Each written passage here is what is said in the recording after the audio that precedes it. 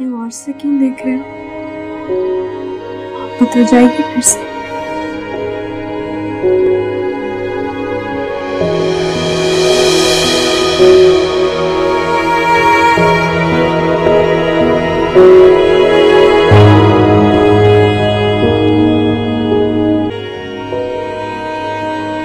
कब आएगा तुम्हें मेरे वजूद का यकीन?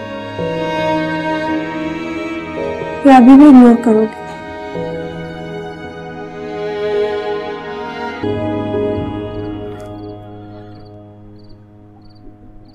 अब आया यकीन? इधर आओ बैठो। बहुत बातें करनी है तुमसे।